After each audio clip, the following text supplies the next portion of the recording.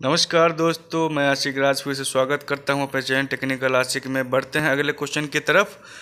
इक्यावनवा question में है right a program to accept the number of days and find out the number of years and number of days and months ठीक है, आपको number of days input कराना है user से और उसमें है ना प्रिंट करना है फाइंड करना है कि इसमें कितने साल हैं, कितने दिन हुए, कितने महीने हुए।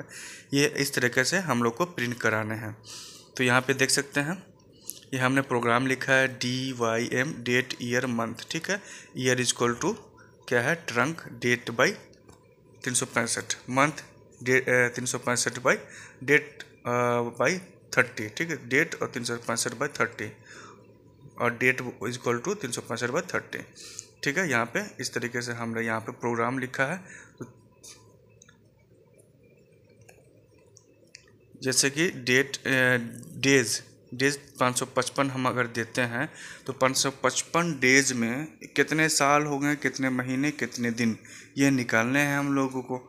तो यहाँ पे हमने उसी तरीके से प्रोग्राम बनाया है। तो चलिए हम लोग, चलिए इसको प्रोग्राम को रन कराते हैं।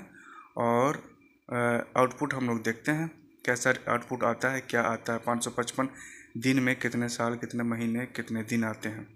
ठीक है, जैसे कि enter value for D D for days ठीक है डेज़ देना है आपको, यहाँ पे मान लीजिए एक सौ बीस दिन देना है तो यहाँ पे चार महीने आए ज़ीरो ईयर्स चार महीने ज़ीरो दिन।